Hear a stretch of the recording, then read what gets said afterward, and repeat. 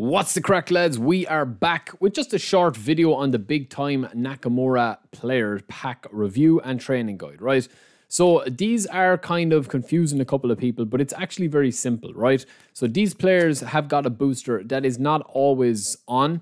This booster is only activated when you do have players 20 players or more in your squad that are from the J League, right? So the Japanese J1 League, as you see here. Then you will get a plus three to all stats. Otherwise, you will get a plus one or a plus two, depending on how many players you have that are from the J League, right? So you will see here that this is giving you a plus three maxing that out with the manager boost, which is going to give you a plus two, you are effectively getting a plus five to every single stat that you see here at level one, right? Now, we haven't trained this guy up yet, but we'll show you a build that we have gone for.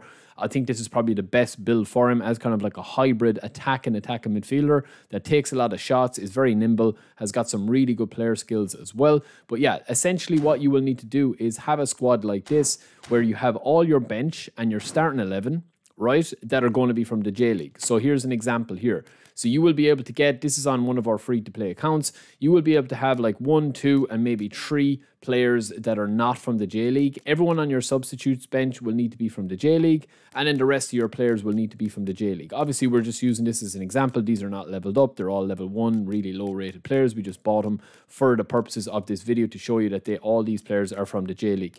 You pack Nakamura and you pop him in here as an attacking midfielder.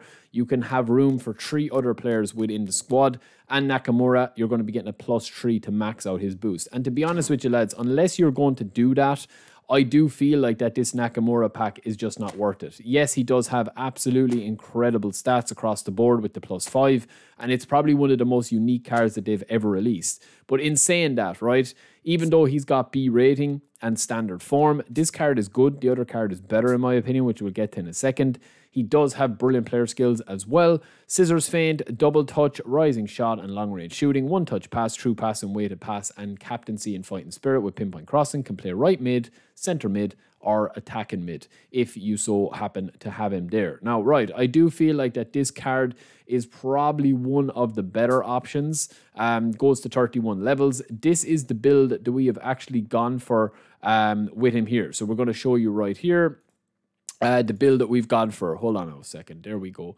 So this is the build that we've gone for here. Um, let me just pop them up there. So this bill that we have here, right, is going to be kind of taking the plus five into consideration because you're going to have the ball control, dribbling, and tight possession. Tight possession is key for this card, in my opinion. Plus five onto that if you are taking those steps into consideration. As I said, if you are just spinning Nakamura and you're going to be putting him into your God squad and not building your squad around a J League squad, then I just think that it's a waste because you can have better boosters or you can hold off until some upcoming legends on Monday or whatever.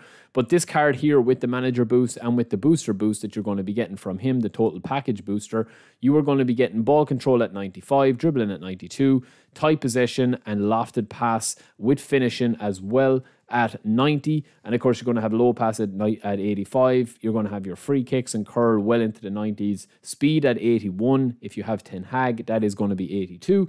And then, of course, your acceleration is going to be 86, with kicking power maxed out nearly at 98, balance at 87, and then, of course, stamina at 91. So it is a phenomenal card, right? I think on the second one, this is probably a better card. This second pack uh, version of Nakamura, which is a younger version of him. He's down as a 99 here as well. He's down as a 20 year old. He's got slightly different player skills. Um, when you look at him here, he doesn't have fighting spirit and stuff. But listen, it's it's pretty much the same type of card, uh, in my opinion. One touch pass, first time shot, a more attacking based again. I think this is probably the ultimate one of it because there's just so many different ways that you can build it up.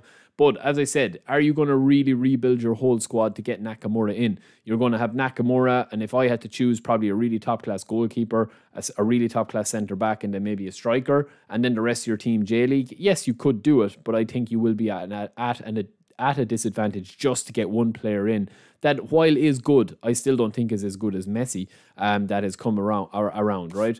But as I said, with this um, with this build here, you're going to have a beastly, beastly player, one of the best players in the game by a mile, right? bear in mind, as we said a minute ago, you're going to be getting a plus five to every single stat you see on screen here is going to be getting a plus five. So dribbling becomes 87, tight possession becomes 90, low pass becomes 85, and so on and so on. Finishing is going to be 91. Uh, you don't even need to go that high in the finishing. You can take one off that if you want to, but you'll have nowhere else to really put it. Acceleration is going to be 90. His balance is a little bit weaker here. Um, so you could, depending on how you want to train him up, you could actually reduce a little bit here of the dribbling if you wanted to. Obviously, we do like to have tight possession at 80 or even the finishing. I mean, the finishing at this at 88 is going to be more than enough. If you wanted to just pop one more into dexterity to get that balance up to 75, which with the boost is going to get you to 80. I do think this is a phenomenal card as well, and it can also play in a multitude of positions or different ways in through the center or through the attacking midfielder. So, look, the rest of the pack in here, is it worth spinning? I think for 98 other cards that are not going to be anywhere near where you want to be. I personally don't think so, and I honestly don't think that you're going to craft a squad around this whole uh, this whole player, this one player, this whole team, right? But it is our first plus three booster that we've seen. We've already had Messi with a plus four. So yeah, that is just a quick training guide and review on those. I personally think I'll skip this one and don't uh, go for them because I'm waiting to see if they do add another booster, maybe like plus five for a different version of a card or something like that. I don't know. I mean, they have to all do, just go up now and up and up. But yeah, that is the, the training guide for the two of those. I know a few people were asking for that. And uh, yeah, I mean, he would be brilliant in events if you did spin for him. And obviously, it's 50 less players than a normal pack. But yeah, um, that is just the training guide for the two of them. So don't forget to like and subscribe, lads. I will be back very, very soon with some more reviews. And we'll talk to you then.